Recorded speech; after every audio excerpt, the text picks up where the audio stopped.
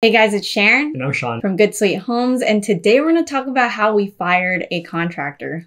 If you guys are new to this channel, welcome. I'm all about teaching you how to build passive income, become financially free, and design your best life. So if you guys are interested in that, make sure to subscribe and hit the bell button to be notified of my latest videos. And make sure to subscribe to Sean's channel where he also talks all about real estate investing. So let's talk about how we got to this point. So if you guys see my video on the $65,000 house, you may have noticed that I was a little bit worried about that contractor. He wasn't being very responsive and he was taking really long with our repairs. So let's rewind on how we even came across this contractor. We initially found this property on Bigger Pockets as an off-market listing in Central Texas. And we were really excited because we wanted to branch out and invest in more places like that. When we went there, we took a look at the property and we saw that it needed a lot of rehab work. And we didn't have a set team in that area. So we did have to go through that effort of looking for a contractor. But at the time, we saw another investor drive by and contractor was with her. And this was before we had actually purchased the property. We were just visiting it to see if it made sense for us. Now that investor passed on this property because she thought it was too small for her. But the contractor was there. So we asked him, hey, do you mind taking a look with us? And he said, yeah, sure. And he told us all these great things. I had already come to this property before to take a look around. So we knew exactly what it needed to do. And he gave us a very attractive offer on the bid. He even told us that he worked with some very famous real estate investors as well. So we believe, okay, this guy seems like a great guy to work with. If this project goes well, and we can work with him on other projects in the future. So now I realize you should be cautious when people are overly optimistic. The people that have been a little bit more difficult for us in the real estate world have been the ones who tell us all these really nice things and are a little bit vague. Whereas the people I feel like who are a little more trustworthy, it's like they just give us the cold hard facts and we know, okay, that sounds good. Like it's very professional. Whereas this, it just sounded like it was playing on our emotions where we're like, okay, that sounds really good, right? And I'm kind of a gullible person. So I was just like, wow, that sounds amazing. Like this person's perfect. When we first met him, I thought, okay, this is going to be the answer to everything that we're trying to do because we were looking for a team in Texas so that we can really scale our portfolio. And they were saying all kinds of different things, like how they have 15 people on every single job. So you have everyone working on a different part of the house at the same time. And turnaround times are what, two weeks for a flip project. So then we were like ready to sign up with him. We decided, okay, let's just go for it, right? But one of the things we didn't really do was our due diligence. So one of the things you guys should definitely do is make sure to look if they have an online presence, because I think that's like one of the most important things to check their reviews, to check their social media, their Yelp, and everything like that. Make sure they're really legit, right? We're very gullible when we basically signed up with him. Because when we looked it up online, we realized not too much social presence and a little bit of bad reviews that we saw, and we were like very worried, right? So make sure you do that upfront work initially before you hire a contractor. Another mistake that we went was we just went with the first guy that we met. In practice, what we should have done is called at least three different general contractors in the area and compare them with each other. Also check their referrals, right? Ask them for any people that they've completed work with. Call them and see what they've said about that person. Yeah, moving forward after that mistake, we definitely did this for every part of the process. With vetting any real estate person that we worked with, we decided to really call references. Even if we were lazy, we are like, we need to make sure this is legit because these are people who are going to work with you for a long time. So going back to the story, when we agreed to work with our contractor here, he sent us a bid, but we didn't initially put in a contract. There was no payment schedule laid out, so we weren't even sure how we are going to make the monthly payments to him. So it wasn't after a few weeks where we noticed that progress wasn't really being made here that we started coming up with these issues. That's when we started doing more of the background checks and getting more worried because we couldn't find his online presence. There was no accountability. There was no way to get a hold of him because he would just ghost us. So once we actually got back to the table, we found his wife's contact information through Facebook. It was a whole mess. We finally said, you know what, we need to have a schedule in place so that if you don't hit these milestones, we're going to fire you. We also created a payment schedule to show every line item and we're going to pay them for the labor after they complete each line item. One of the things I think we did well was that we made sure we didn't pay all of it up front. We made sure to pay just when the labor was actually done. And then for materials, we purchased it ourselves. So he would essentially go to Home Depot and then the person would call us and then we would give the credit card information and things like that. We would get the invoice so we knew that we weren't getting upcharged for materials. So what we like to do in our contract now is we want to make sure that we have all their information right there in the box so that if there's any issues, we can call them up or find their address. We also put in a contract an exact timeline of when the property is expected to be completed. So if they say it takes about a month, we give them some leeway, maybe an extra week or two, and we say if you can complete before this date, we'll actually give you a bonus. In the contract, we have bonuses and penalties depending on when they complete the project. So we have like a per diem rate. If you complete the project in certain amount of days, then we pay you this amount of bonus. But every day you're late, we're going to be subtracting a certain amount every single day. So it supposedly motivates them to complete the project on time or earlier. Now, this property was maybe two hours away from us. Every time we checked out the property, we'd see like not much progress had been made. And we were pretty angry because it's like we just wasted two hours driving there and then we have to waste another two hours driving back and we saw nothing really happening. And sometimes he wasn't even there or like maybe he was with maybe one other person when he had told us like a 15 person crew and all these things.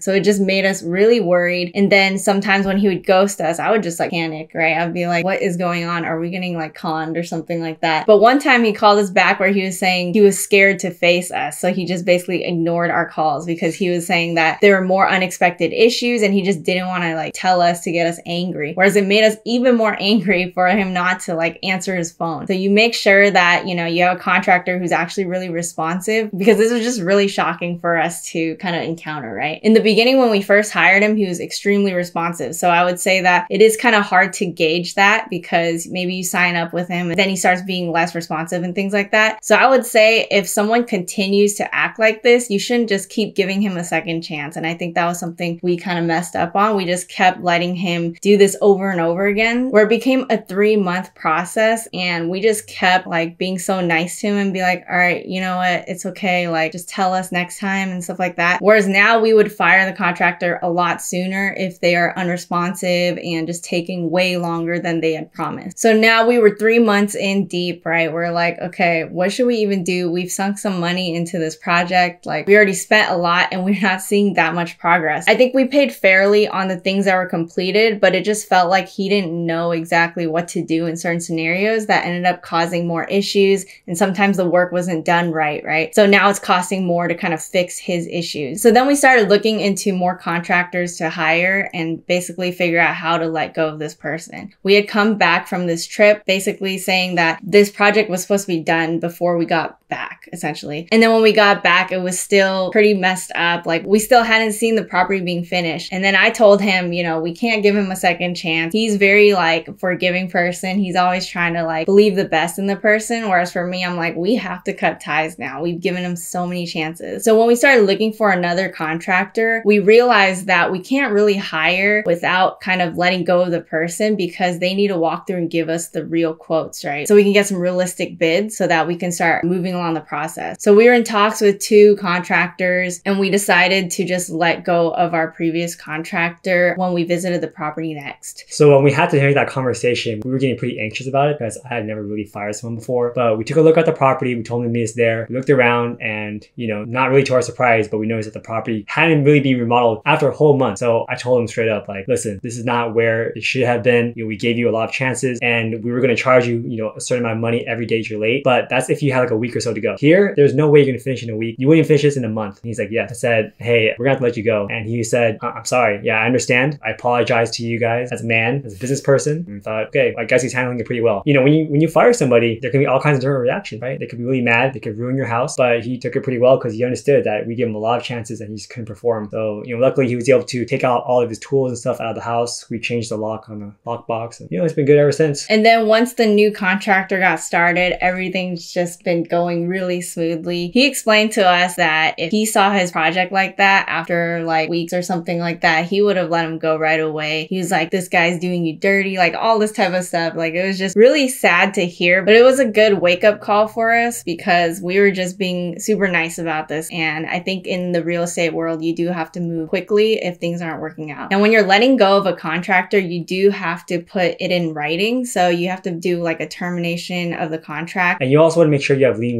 in place. So a lien waiver is put in place so that a contractor can't just come back a few months on the road and say that you didn't pay them, put a lien on your property. By having them sign the lien waiver, it says that we have paid them in full, you know, they're satisfied and they're let go. There's complete separation and they can't come back to the property. Yeah, that's why we recommend putting it in writing so that they can't somehow come after you later. So we got them to sign everything like that. And then once we did that, our next contractor just went in and started making all these crazy like fixes where now we're getting photo updates every single day and seeing a lot of progress. So this property should be done in a few weeks. I think another thing that's motivating him is also that he knows we're investors and he knows that there's opportunity for more work if we're happy with the results. So make sure that when you are looking for contractors, let them know that if they do a good job, there's more potential for future project to work with them because they are looking for work work, they want to make money. So if you can continuously supply them with more projects, they're going to be happy and you're going to be happy as an investor because you can get these projects fixed and maybe even participate in active real estate and start flipping homes or something like that. I don't know if that's in our future because we do love holding the homes, but you never know, right? And also, we want to be working on more projects where we're more hands on, getting these fixed, and maybe even doing short term rentals, like I mentioned in previous videos. So I'm really excited for the project moving forward. It was a lot of stress, like during this time, and I think that nothing is worth that stress, right? You might be holding on thinking, oh, maybe I can get a cheaper price, but if it's not working out, it's probably going to end up costing you more in the future. That's another thing, too, right? You don't want to just go with the cheapest quote. You want to get someone who's actually going to be able to get the work done. So check their references and check the photos of previous work. And I know we've said a lot of tips, so let's summarize a few of those. So ultimately, make sure you do your due diligence, look up their online presence, call the references, and make sure you put a contract in place with payment milestones. Only pay on work that's complete so that if you have to let someone go, it's not like you're losing any real money. And I also recommend paying for materials directly so that you don't have to worry about them charging you more for those materials. And have regular text updates from the contractor. Make sure that they're doing the work. Make sure they're sending photos of the progress. If you're going to let someone go, I would change the lock so you make sure that they don't like come in and mess up anything. And also make sure to have a termination of contract in writing and a lien waiver as well so they can't come after you. And if you have any issues, make sure you fire fast. So I hope you guys enjoyed this episode on us firing a contractor. I hope it gave you guys some insight on what you guys could do if you ever face that situation. And let me know in the comments below which tip resonated with you. Smash the like button, subscribe, hit the bell button to be notified of my latest videos, and make sure to subscribe to Sean's channel as well. And I'll see you guys in the next one.